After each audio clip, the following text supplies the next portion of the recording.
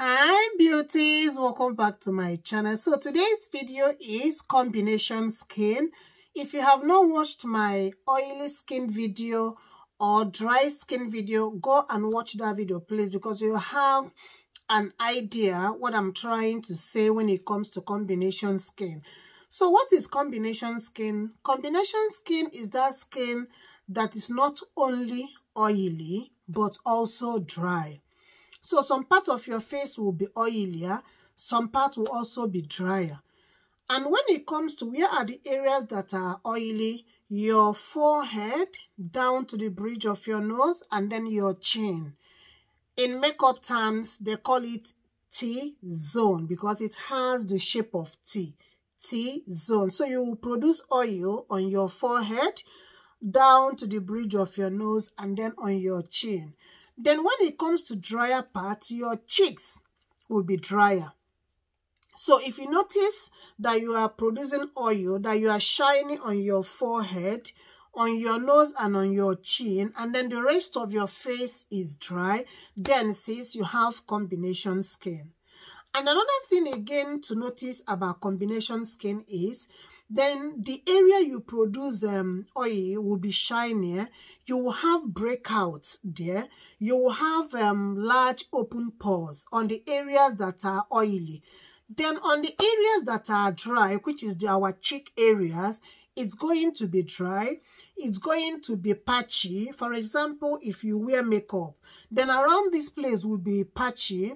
Then why here, when you put on your makeup, you notice that the makeup is sliding a little bit. It is producing oil. You're having a lot of shine on your forehead. So these are the things you will notice if you have combination skin.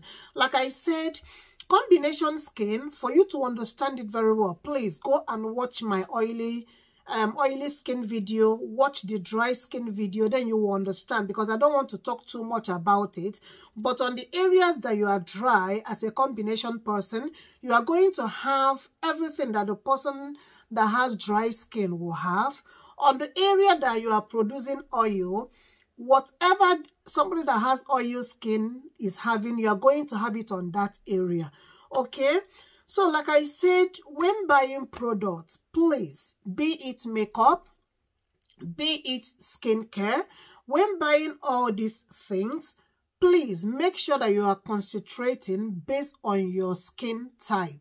Clinique, they have skincare products for combination skin. They have skincare products for dry skin. They have skincare products for oily skin. So choose your product based on what? Based on your skin types. So I hope by now that you've already know what type of skin types you are so that it will be easy for you in buying your skincare and buying your makeup. So sis, now that we have talked about combination skin, what it is, and the things to check out to know if you have um if you have a combination skin. Now, what are the solution to that? Like always, you cannot erase combination skin from your skin. But then there are ways to take care of them so that they will not be out of hand. And um, number one thing is to do what? Is to balance. Yes. Combination skin is all about balancing.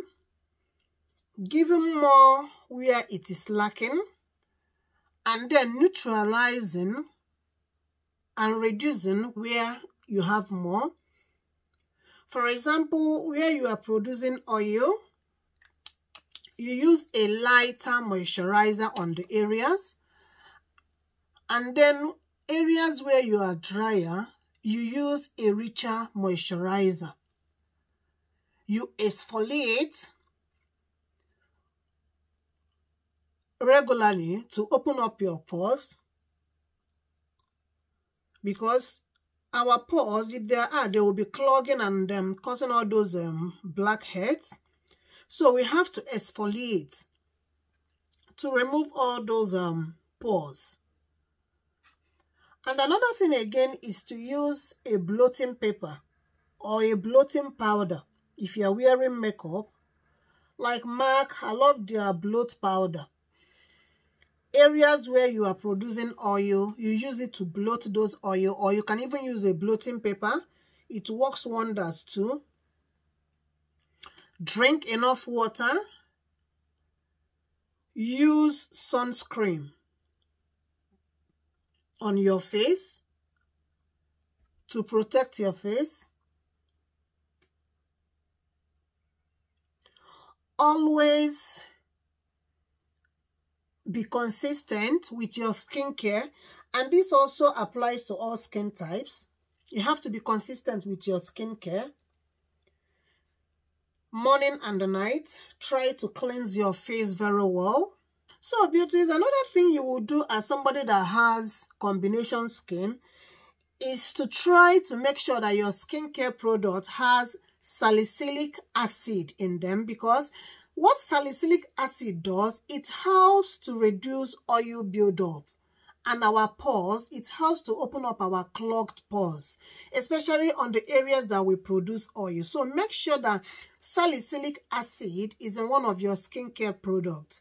Another thing again is please don't over moisturize your face because the area that you are producing oil is much more than the area that are drier. Use a moisturizer that takes care of combination skin. Because I think what will happen at the end of the day is going to balance. It will give more where it is less and then it will reduce and neutralizes where it is more. Make sure that you are cleansing your face two times in a day. In the morning before you leave your house and then in the evening before you go to bed to remove all the germs, to remove all the bacteria that we have gathered during the day. Hope this video is helpful and if it does, kindly give my video a thumbs up, comment, like, share and subscribe if you haven't subscribed to my channel. And please, when you subscribe, on the bell button there so that whenever I upload a video, you will be notified. Stay blessed and stay safe. Bye.